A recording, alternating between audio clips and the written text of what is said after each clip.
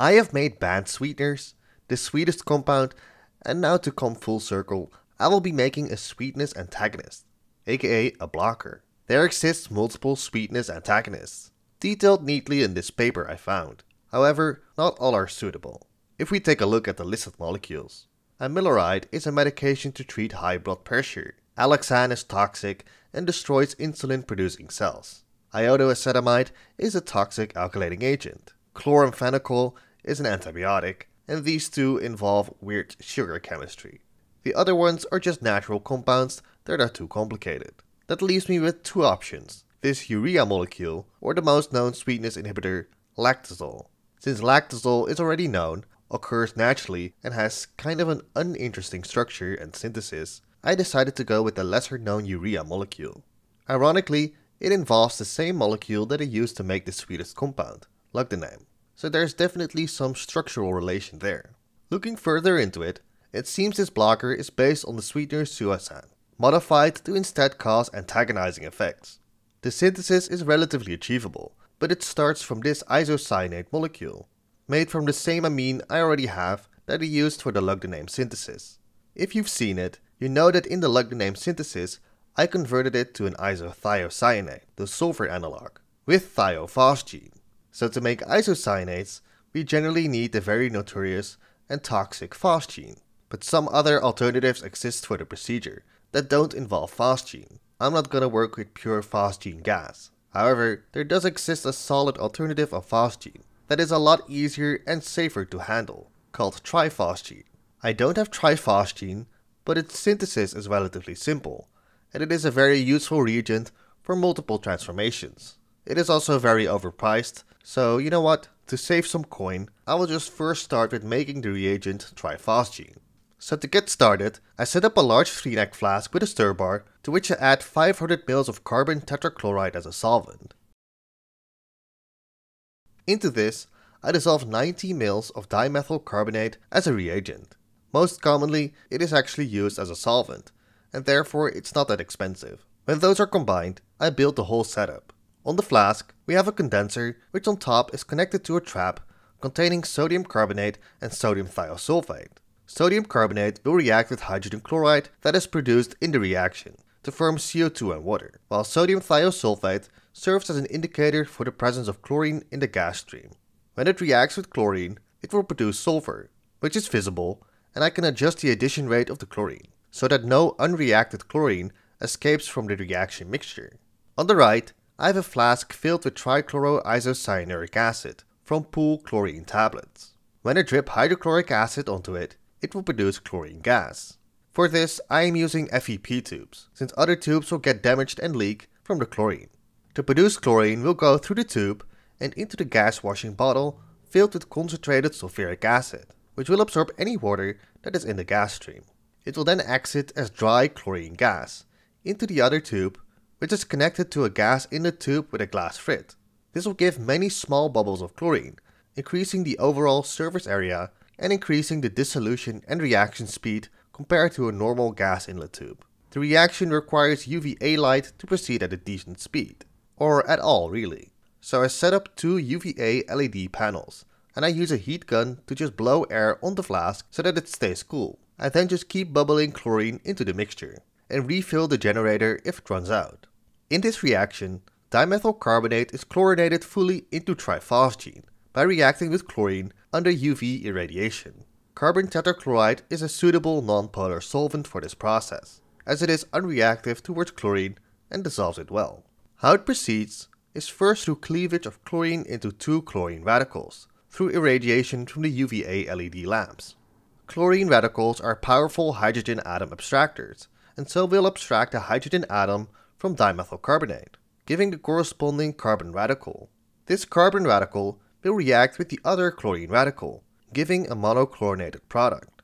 This process will continue until no more hydrogens are available to be abstracted. However, the reaction always prefers abstraction from a carbon with the least chlorines already attached, because radicals with electron withdrawing groups, like chlorine, are less stable. Also, statistically, it is more probable that a hydrogen is abstracted from an atom that has more hydrogens available. This means that the reaction must always go to completion, and that the maximum amount of chlorine always has to be added. Otherwise, if we stop earlier, we end up with a bunch of partially chlorinated products that are not useful. To tell if the reaction is finished is simple. If the reaction stays yellow from dissolved chlorine, even under irradiation, it means that no more hydrogens are available for abstraction and the reaction is finished, so no analysis is required. I have filmed a good example to show the cleavage of chlorine into chlorine radicals, and its immediate reaction followed by release of gaseous hydrogen chloride. When the lamps are turned off, chlorine will simply dissolve into the solution and make it yellow. If I allow that to happen, and then later turn on the UV lamps, we can see what happens to the dissolved chlorine. After a short delay, it starts to bubble vigorously from the hydrogen chloride that is produced. And after only a short while, it turns completely clear again as all the chlorine has been consumed. Remaining hydrogen chloride is expelled and it stops bubbling. Since the reaction is relatively fast, chlorine can also be added at a relatively fast rate, and none of it escapes, as I could see in the trap because no sulfur was produced. When the reaction is done, I can simply set it up for short path vacuum distillation. It will first expel all the chlorine and hydrogen chloride, and then distill over the carbon tetrachloride, which can be reused for the same reaction or for another if washed to remove residual chlorine and acid. After that, a non-distilling liquid remains behind, which is molten triphosgene. It gradually starts to solidify into a white solid, and after a while, completely into soft crystals. I also heat it very lightly and pull a direct vacuum just to remove residual solvent that seemed to be there. But that can also be done by just vacuum distilling it a bit longer. When that's done, I can just break it up with a spatula and I move it to glass containers.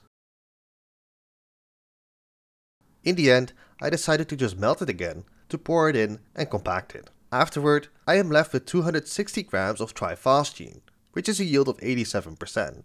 It's a bit lower than literature, but it's because I distilled down the mixture once midway to see for myself if the partial chlorination was true, which made me lose a bit of the partially chlorinated products that distilled over into the carbon tet, as I cleaned the carbon tet and then reused it.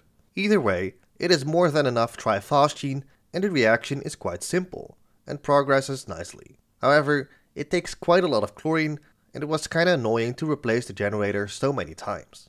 In the end, I used about 1.5 kilos of TCCA. Now that I have triphosgene, I can start with the first reaction of the sweetness blocker synthesis. So I again set up a large flask with a stir bar, into which I add 11.8 grams of the reagent 4-amino benzonitrile, and then dissolve this in 250 ml of dichloromethane. When it has fully dissolved, I add in 10.5 grams of the base sodium bicarbonate. On top of that, I add in 100 ml of water. I then weigh out 10.9 grams of partially molten triphosgene, and I dissolve it in 50 ml of dichloromethane and add it all to the mixture, giving this biphasic reaction mixture that is a lot softer on the reaction, opposed to just using an organic solvent and an amine base. Amine bases, especially triethylamine, can be disturbing for the reaction because they can react with the phosgene. Pyridine is one of the suitable amine bases. However, in this mixture, both triphosgene and the isocyanate product can react with water, but this reaction is very slow, as they are insoluble in water and the temperature is low. Still, it means the reaction should be ended after 30 minutes, immediately after it is done. Otherwise the yield will slowly decrease over time. In this reaction, the amine of 4-amino benzonitrile reacts with triphosgene in the presence of a base, giving this isocyanate product. We add the triphosgene quickly to prevent unreacted 4-amino benzonitrile to react with the isocyanate and give a symmetrical urea. In this case, anilines aren't that nucleophilic and phosgene is a lot more electrophilic than an isocyanate, so it shouldn't be fast enough to form significant amounts of this impurity. How it proceeds is first through nucleophilic attack of the amine onto the carbonyl carbon of triphosgene. A pair of bond electrons from the carbonyl double bond is then forced onto the oxygen the protonated amine in the intermediate is quickly deprotonated by the bicarbonate ion, which then splits apart into CO2 and water. The electron pair then returns to form a carbonyl double bond, but kicks off the trichloro part instead, as it is a much better leaving group. That part also kicks off one chlorine, which is also a good leaving group, causing the formation of phosgene and sodium chloride. Phosgene will continue to react with another 4-amino benzonitrile molecule, in a way analogous to the initial reaction. We then have this carbamate intermediate, which also contains this great leaving group and so is more easily deprotonated by the bicarbonate ion. These bond electrons move to form a nitrogen-carbon double bond and kicks off phosgene, again giving CO2, water, sodium chloride, and the final isocyanate product. After a short while, it has become transparent again. I managed to lose some footage here, so bear with me. I just took the bottom dichloromethane layer and distilled off all the solvent, giving a slightly yellow solid that should be the isocyanate product. I just immediately continue with the next reaction, since weighing it should give something nearly quantitative anyway, as there is no real purification. Some report subliming them, but that is a bit time consuming. So for the next reaction, I add in 150 ml of acetonitrile as a solvent, and I let it stir a bit to loosen the solid. To this, I add 8.3 grams of the reagent aminomethane sulfonic acid, which can be bought cheaply online. To that, I add 25 ml of water and 3 grams of sodium hydroxide to dissolve it as its sodium salt. When it has dissolved, I immediately add all of it to the mixture, however, I did make a mistake here by having it quite hot. I had it standing for some days and wrongly assumed it still had DCM in here that I had to evaporate off, which is why I wanted to boil it off and then I found out I had already done that and there was acetonitrile inside. So now it was hot and I was too lazy to wait for it to cool down. In my brain farted embarrassment. That is a result of doing multiple projects through each other. Either way, let's hope that didn't do anything crazy, because it kinda started boiling and, and stuff, so I let it stir strongly for a day. In this reaction, the amine of 4-amino methane sulfonate reacts with the isocyanate to form this urea product. How it proceeds is first through nucleophilic attack of the amine onto the electron deficient carbon of the isocyanate moving a pair of carbonyl bond electrons onto the oxygen. This amine then deprotonates the other amine, while the carbonyl double bond reforms and a pair of bond electrons from the carbon-nitrogen double bond moves onto the nitrogen, giving this final urea product. When I return, a lot of solid has precipitated and I let it stir stronger for the remainder.